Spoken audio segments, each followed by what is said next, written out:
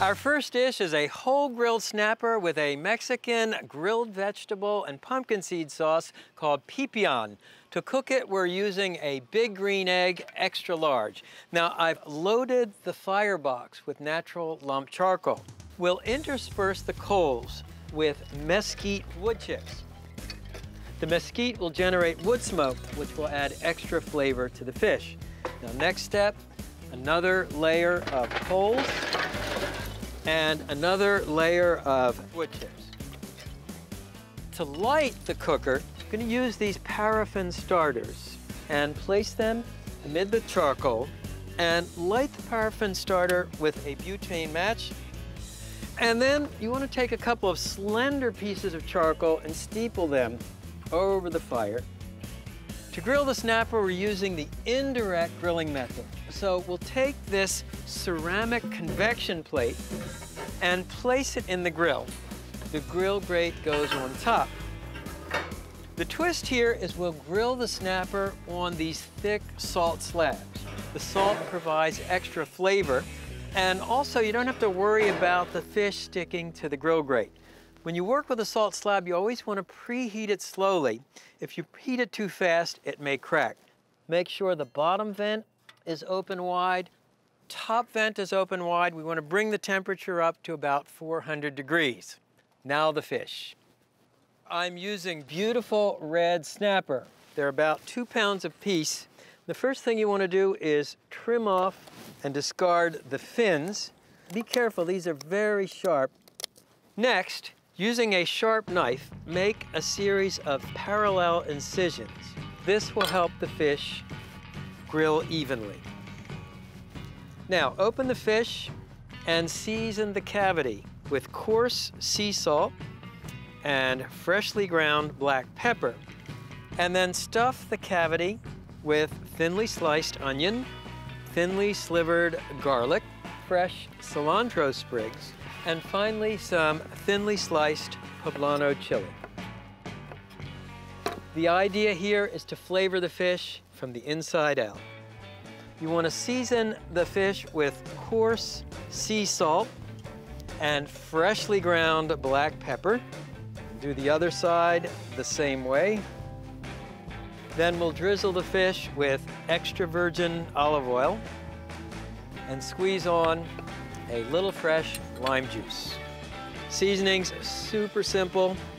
The idea is to keep the focus on the flavor of the fish and we're at 400 degrees. Those salt slabs have preheated. So you'll just place the fish on the salt slabs. And we'll also grill some fresh limes.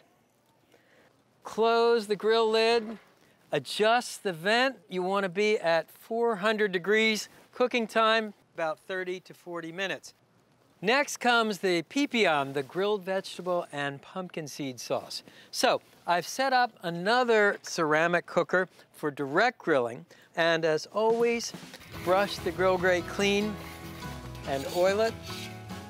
And you want to grill the vegetables to bring out a smoky, charred vegetable flavor. Poblano chili first, a quarter of an onion.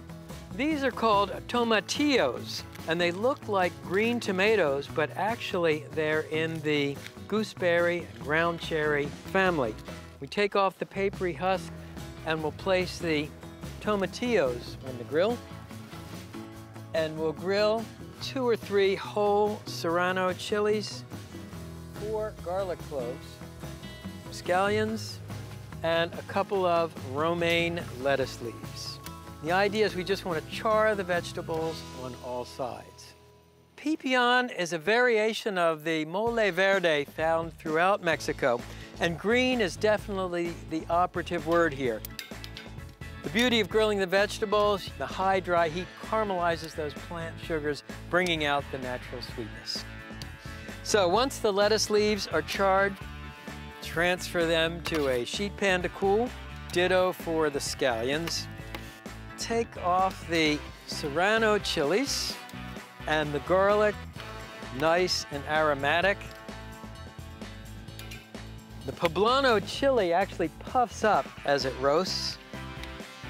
The onion Now the next step, heat a cast iron skillet on the fire and then take your pumpkin seeds, add them to the skillet and roast the pumpkin seeds until toasted and fragrant.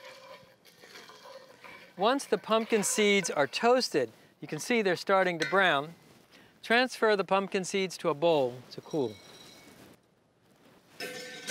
Meanwhile, keep your frying pan hot. With your vegetables, cut them into one inch pieces. For the serranos, if you like a milder salsa, remove the seeds. And of course, if you like a spicier salsa, leave the seeds in.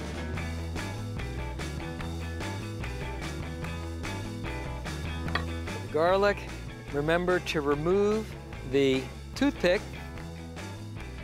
The tomatillos get quartered. And with the poblano peppers, scrape out the seeds.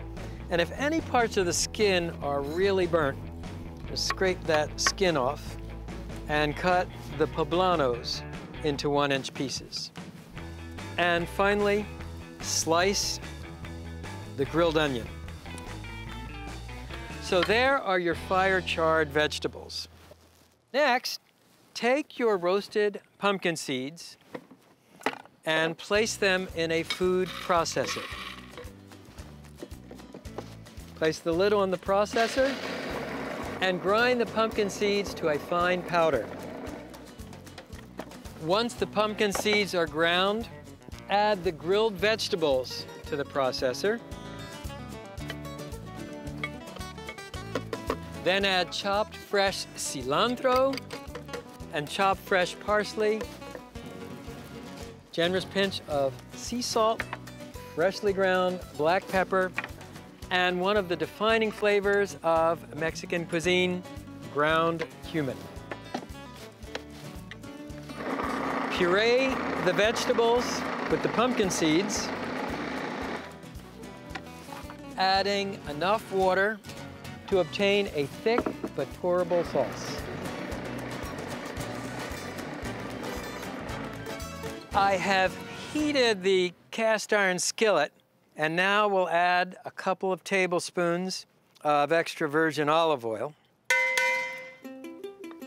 And once the oil is hot, you actually fry the pipian mixture. So we'll transfer it to this hot skillet. And this frying of the pipian is a very traditional method of Mexican sauce making gives you an extra layer of flavor.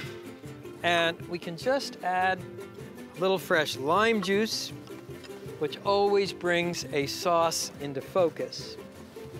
Stir that in.